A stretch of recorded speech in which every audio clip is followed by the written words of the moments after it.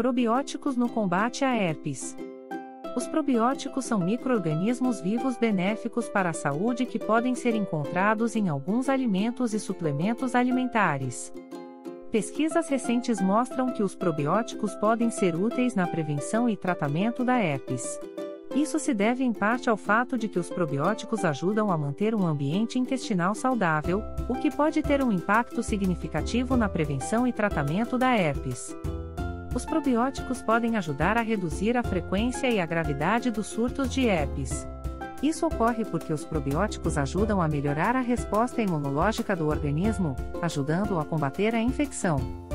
Além disso, os probióticos também podem ajudar a reduzir o risco de desenvolver infecções secundárias, que podem ocorrer quando o sistema imunológico é enfraquecido por um surto de herpes.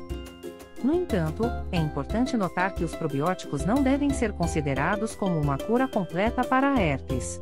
Eles podem ser úteis como parte de um plano de tratamento abrangente, que pode incluir medicamentos antivirais e outras terapias.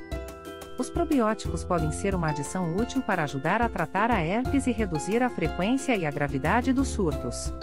Consulte um profissional de saúde antes de usar probióticos para tratar a herpes ou qualquer outra condição médica. Se você busca mais saúde e equilíbrio para o seu organismo, não perca a oportunidade de acessar nosso buscador inteligente. Ele foi especialmente preparado para oferecer as melhores ofertas de probióticos de diversas lojas confiáveis no Brasil.